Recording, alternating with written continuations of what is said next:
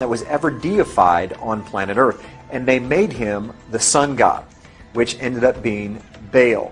The word Baal in your scriptures can be traced back to Nimrod. So it's an interesting uh, reality of history. When you see Baal and Ashtaroth, you're ended up coming all the way back to this story of Nimrod and Semiramis. And so Baal is now ruling the universe as the sun god, and somehow luck has it through the Babylonian legend that Semiramis gets pregnant by the rays of the sun of her deceased husband, Nimrod. And she gives birth to a young baby boy named Tammuz. Semiramis, Nimrod's wife, insisted that Nimrod became the sun god. She cut Nimrod's dead body into pieces and sent them to each tribe of Babylon. People regarded the place where a part of Nimrod was buried as sacred.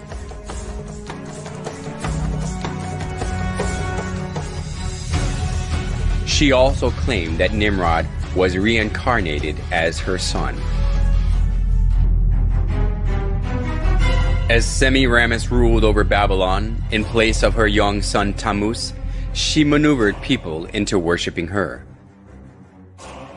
Monuments of Semiramis carrying her child Tammuz in her arms were set up all over Babylon, along with various images symbolizing the sun god. The sun worship and the mother child worship, which was a scheme devised by Semiramis, put down roots as a religion of Babylon.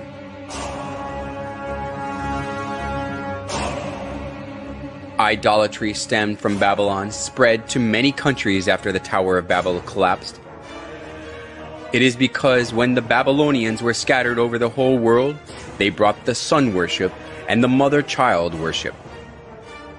The sun worship and the mother child worship were assimilated into the cultures and religions of many countries, and they came to have various forms and names.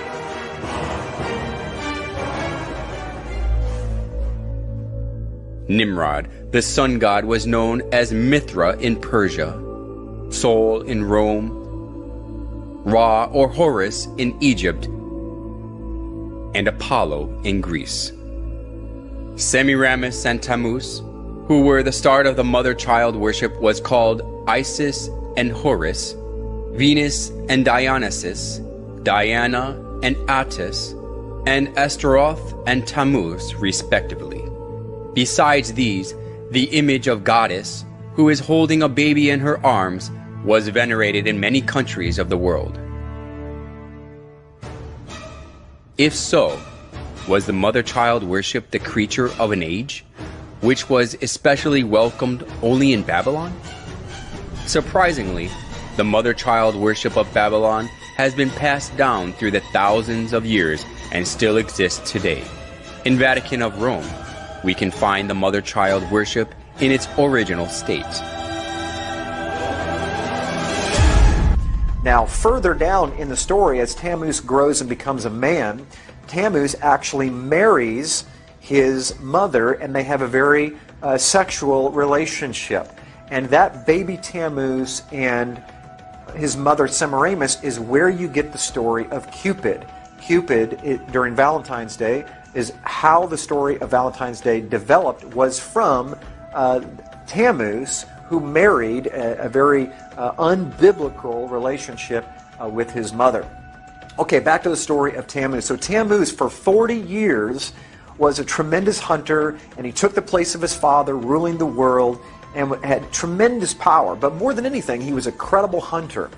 But unfortunately, his gift and his skill of hunting caught up with him one day because he was killed during his 40th year by a wild boar. Every spring, uh, the first Sunday after the vernal equinox, the spring equinox, they have what was called Ishtar's, uh, Ishtar's Sunday.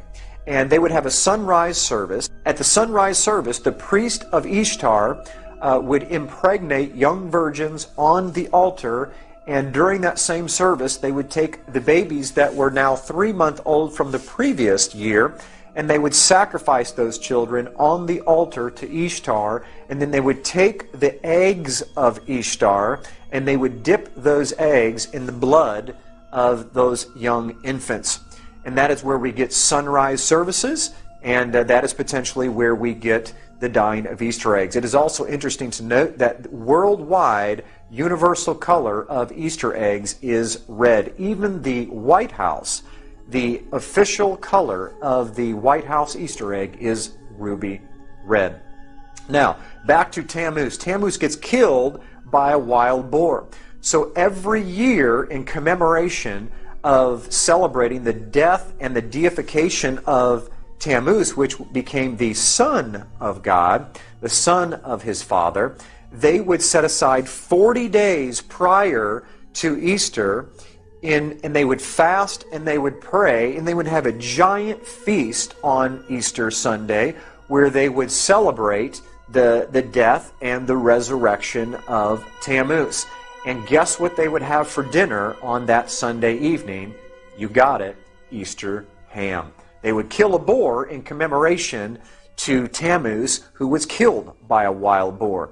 And yes, the 40 days prior to Easter, uh, we call it Lent, or the Catholics call it Lent, that 40 days did not come from, my friends, the 40 days of Jesus in the wilderness. That 40 days was already in place for thousands of years before Jesus even showed up. It comes from the 40 days of fasting and praying for Tammuz before they celebrated Easter. I'm going to give you some of the names and, what they're most commonly uh, remembered for in these different cultures, and some of you will recognize them immediately.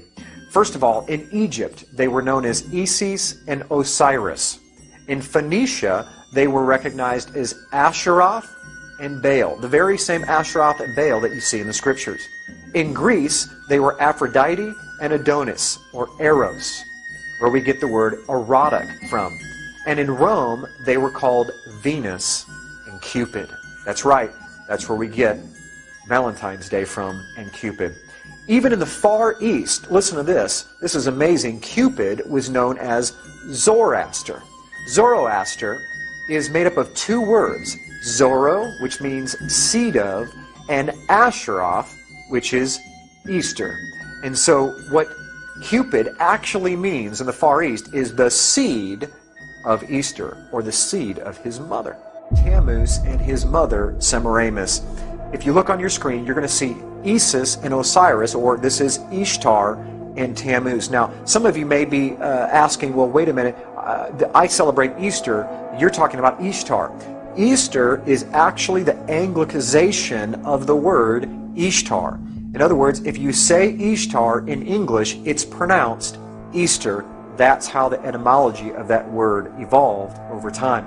What I want you to see is I want you to see what's on her head is a crescent moon, and in the center of that crescent moon is the actual sun itself. And so the symbol of power of uh, Isis or Ishtar was the crescent moon holding the sun itself, her deceased husband, Baal, the sun god. And you can see the baby there that is nursing from her breast. Ishtar was known as the goddess of the east, the bare breasted fertility god of the east, or the sunrise, which is why they had the service at sunrise on Easter morning.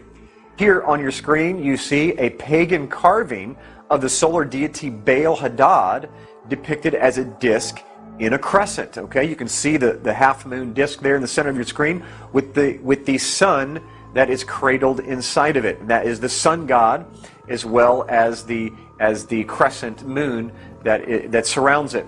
Now, as you see that the main symbol for the sun god was the crescent moon with the sun on the top of it, or centered and cradled inside that crescent moon we now move to something that's a bit controversial but very true historically is the Catholic Eucharist is actually the sun that is inside of that crescent moon. I'm going to show you some pictures of the actual Eucharist in different positions, and you're going to see that not only is it similar, it's identical. This is where they got the symbols from. You can see here, this is a particular object that holds uh, the Eucharist. And I found this online, and this is what the quote said. I left off the particular church for obvious reasons, but this was their advertisement for a particular Friday. It says Eucharistic adoration is held on the first Friday of every month for the purpose of honoring and praying to the Blessed Sacrament. Now, I don't know about you, but my Bible says to pray to the Father, our Father. Yeshua, Jesus said to pray to the Father. He did not say to pray to inanimate objects, whether they represent Him or not. Now, look very carefully at on the right hand side, you can see the moon, the crescent moon shaped, holding that sun or that wafer of bread.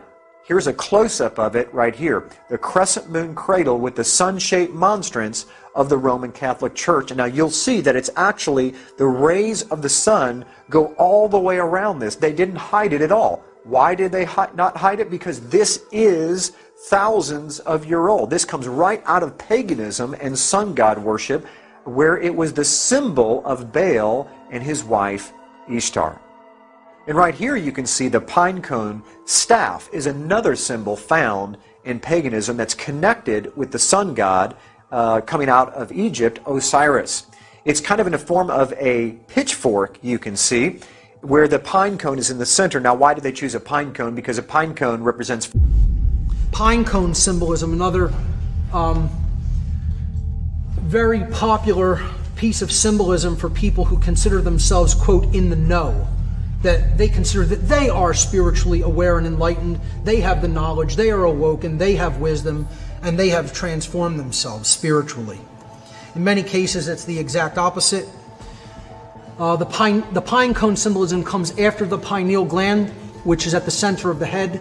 It's uh, right here, circled in red. Um, it's uh, considered in the midbrain or the limbic system of the brain. Um, it regulates, uh, this gland regulates a lot of different functions within the individual related to perception, emotion, etc. And the gland looks like a little pine cone. It has uh, a lot of blood flow that goes through it, and it's very much attacked as something that they don't, they seem not to want to develop or function properly. So a lot of the food, things in water, uh, are very much attacked to target this part of the central nervous system. Uh, the pine cone literally looks like a little pineal gland. Okay, the pineal gland looks like a little pine cone, I should say. This is called the Court of the Pine Cone, and it is at the Vatican. That's where that pine cone is at. It is surrounded by two peacocks. Peacocks are another big symbol in alchemy. They represent alchemical transformation. Again, the pine cone represents awakening, resurrection, or transmutation, spiritual transmutation. Now, below it, there is a black empty sarcophagus right down there below on the left hand side. Uh, as you go up these steps in the court of the pine cone to the other side of it from this image perspective, that's what you will see. And behind it, there is an empty sarcophagus. Now, they're basically throwing this symbolism right in your face. You know, we are the resurrected ones. We are the ones who have come out of darkness and into light. We have the knowledge. We understand how the awakening process works. We understand how this um, activity of the brain that people don't even understand and whose functions are essentially shut down due to the horrible nutrition and all kinds of pollutants in their food and water. We know how that works. You know, and we have we have done that transformation to ourselves, but that's not for you. You know, we're going to sequester that and keep it to ourselves and keep it here. And they never mention this. You'll never hear about this by the Vatican. But just go on Google Images, and you know you'll see tons of images of the type court of the pine cone. You have a lot of tourist images that just take pictures of it. Of course, here you see the Pope in his uh, astrotheological regalia here. The fish head miters that they wear mm-hmm. Are the representative of the fish head miters that were worn by the Sumerian priests and the priests of Babylon. The Abgal. Yes, that's they, right. They, they, ser- they, served in the in the temple of uh, a, a, goddess named Nanshi. Yes, and it specifically references um, uh, what what, what we, who we know as Dagon. Yes. Um, so, and he was known as Oannes to the Greeks. Yeah. And uh, this was according to myth, an individual, a, a, a hybrid person, a half fish, half man thing that came out of the sea mm-hmm. and began to instruct mankind in the lost knowledge. But at the base of it is the pine cone right there in his hand. I circle it right there. In symbolic iconography throughout the ancient world, the pine cone is revered. It's always a symbol of the transformation of a god Often the god is giving that spiritual essence or knowledge to humanity. Here you see it in the Akkadian tradition of one of their gods, a clearly non human looking entity. Here it is in the Babylonian tradition. Because this staff goes all the way back to ancient sun god worship, where it represented power and authority of the gods, you see. And this is a close up of that staff right here, where the pine cone is embedded right in the staff itself. Let's move on to another symbol. This is the symbol of the trident. The trident is a, the devil's pitchfork. It really is a symbol of Satan, of the horns of Satan. It's an ancient satanic and pagan hand gesture called the trident. We find this in archaeology all over the place. Whenever you get into any kind of society of sun god worship, you find the trident everywhere. You see it in ancient Babylon. It was placed in the hands of all the pagan sun gods. Uh, all the pagan gods and pharaohs had some sort of trident, a staff, that they would be connected to power and authority of the gods. The most famous one, of course, is Neptune's trident. We call it the devil's pitchfork, and that's where it comes from. It's just not a drawing that someone made up. This has history built into it of where these things come from. Now, if you move forward in time, uh, or, or, during the same time period, excuse me, you're going to find another symbol that is even more important. As matter of fact, you're going to see two symbols in this picture.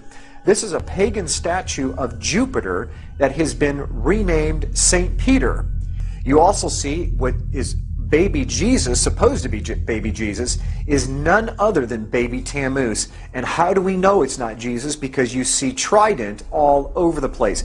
You see the trident symbol in the hand of the infant Jesus, along with the tridents coming out of the statue's head. You'll see three tridents, two coming off the sides of the head and one coming off the top of the head. This is not baby Jesus, ladies and gentlemen. This is a pagan sun god, Tammuz, from the story of Baal, Nimrod, and Semiramis, ended up being Cupid in today's Valentine's Day. And right here is the ancient Babylonian altar for the sun god Baal and its main symbol is the eight pointed star, which can be depicted as two four point stars built inside of one another as the solar wheel. We see the same solar wheel sunburst over a Buddhist temple in Thailand. Here is a monastery, uh, St. Ignatius, where the solar wheel or sunburst is depicted in the floor tiles. Here is the face of a child, which is, of course, Tammuz, within the fertility symbol of the sun's rays on a Roman Catholic altar. The same exact symbol, a child, which is, of course, Tammuz, within the fertility symbol of the sun's rays on a Roman Catholic altar. The same exact symbol is shown uh, in a face of the Babylonian sun god on a pulpit in a Roman Catholic church in Scandinavia. Okay, all this same symbol comes right out of paganism, as I've shown. Okay, this is probably one of the most fascinating pictures that I have uh, I zoomed in to the Vatican using Google Earth and stopped several miles above. And, and look what we discovered is this is the largest solar wheel on Earth. This is the court of St. Peter at the Vatican in Rome itself. Excuse me, the sun disk behind the head of this Roman Catholic statue in Westminster uh, Cathedral in London. Where did they get the idea of sun disks behind these saints? Uh, it's because this was what was found on behind the head of Jupiter and all these sun gods uh, was the actual uh, monstrance of the, of the Roman Catholic Church. That that halo is not a halo; that is a sun disk, and they borrowed it from paganism. We see here behind Krishna another sun disk behind his head, and this is just to show that it doesn't just happen in Catholicism. That the sun disk predates Catholicism by hundreds, even thousands of years. It was borrowed. We see it in stained glass windows behind all of the Roman Catholic saints, even Mary. And if you look carefully, you see the Sacred Heart. That Sacred Heart, even though I don't have time to go into this, even the Sacred Heart comes right out of paganism. That exact same symbol with the sun disk behind the Sacred Heart has to do with Baal and Tammuz, the sun gods. And you can see it all over the Roman Catholic Church, and even in other pagan religions across the world. And where do we find this eight pointed star, this solar wheel, this sun disk today? None other than on top of our Christmas trees. Now, I know all of us have been taught that the star on top of the Christmas tree represents the Star of Bethlehem, that the kings came in to find baby Jesus. But unfortunately, the star of the ancient pagan sun gods predates the star of the Christmas tree, the star of Bethlehem, by over a thousand years. They were taking the sunburst and connecting it to what you're going to learn in just a few minutes is the tree of Nimrod. And that is where we get our Christmas tree from and the star that we put on top. If you look carefully, you can see there is a tremendous significance and a similarity between the sunburst and the star that we put up there today. Here's the sun disk proudly displayed on top of Christmas trees in, in a mall. Matter of fact, this one doesn't even hide the fact that it's not a star, it's the sun that you're looking at. Even the eight pointed star on top of the White House Christmas tree for everyone to see is the same eight point star that you, we find in archaeology thousands of years ago connected to pagan sun god worship. When do you think the birthday of Nimrod and Tammuz was? On the first day of the year when the sun is reborn. And what day do you think that the sun is reborn? In the middle of winter, at this winter solstice, December 25th. That's right. That's where we get December 25th on Christmas Day, where we say that Jesus was born. Why did we choose Jesus being born on December 25th? Where did that date come from? Very simple. Jesus was the Son of God. Tammuz was the son of the gods. He was the son of his father, Baal.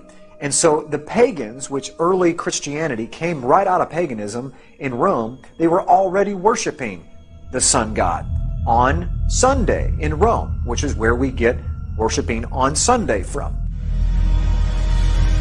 All judges, city people, and craftsmen shall rest on the venerable day of the sun Constantine's edict in 321 played an important role in making the sun god worship faith to put its roots down in the church. Many Bible believers today have followed tradition handed down by previous generations. They believe and were taught that Sunday is the proper day of worship, that the Savior changed the day of worship from the Jewish Sabbath to Sunday. The adoption of Sunday as the Christian Sabbath has little to do with the Bible and everything to do with Constantine the Great over 300 years after the Messiah's death. Constantine was emperor of the Roman Empire from 306 to 337 CE. He was a sun worshipper who on his deathbed converted to Christianity. In 321 CE, while still a sun worshipper, Constantine established Sunday as the day of worship. He decreed, on the venerable day of the sun, let the magistrates and people residing in cities rest, and let all workshops be closed. In this coin circulated by Constantine in 317 CE, we see the face of Constantine on one side, and on the other the figure of Sol Invictus, the unconquered sun. The sun god was also known as Mithras, and his birth was on December 25th. This date was adopted as the birth of Christ and became the date for Christmas many centuries later. Clearly, Constantine was an avid worshipper of the sun god Sol Invictus. Amazingly, Martin Luther, the champion of the modern day Protestant movement, said, They allege that the Sabbath changed into Sunday, the Lord's Day, contrary to the Decalogue as it appears. Neither is there any example more boasted of than the changing of the Sabbath day. Great say they, is the power and authority of the Church, since it dispensed with one of the Ten Commandments. Nowhere in the Bible do we see that Yahshua and his apostles changed the day of worship from Saturday to Sunday. In fact, the Messiah in his Sermon on the Mount has this end time prophecy Pray that your flight be not in the winter, neither on the Sabbath day. Those who were tainted with polytheism of Rome looked as if they had converted but in actuality, it wasn't easy for them to get rid of the religious rites and institutions of worshiping the sun, the moon, and the stars.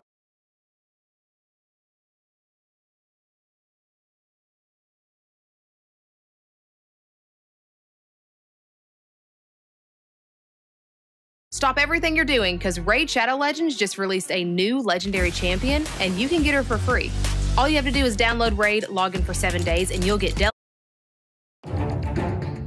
What if I told you that America has its own Stonehenge? These giant stones suddenly appeared on a hillside. What if I to- What if I told you that America has its own Stonehenge? These giant stones suddenly appeared on a hillside outside of all places